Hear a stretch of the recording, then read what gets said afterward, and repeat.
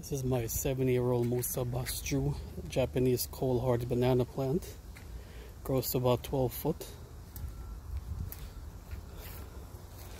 I've dug out several pups this summer and transplanted them to new locations.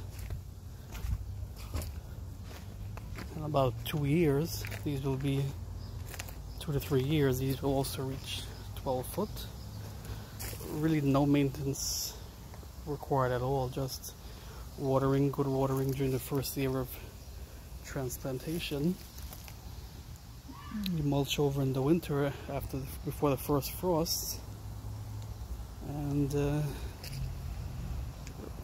remove the mulch in spring after the last frost date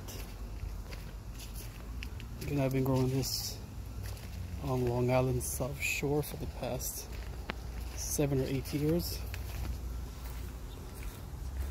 And it's been a very nice uh, tropical plant in, in the garden.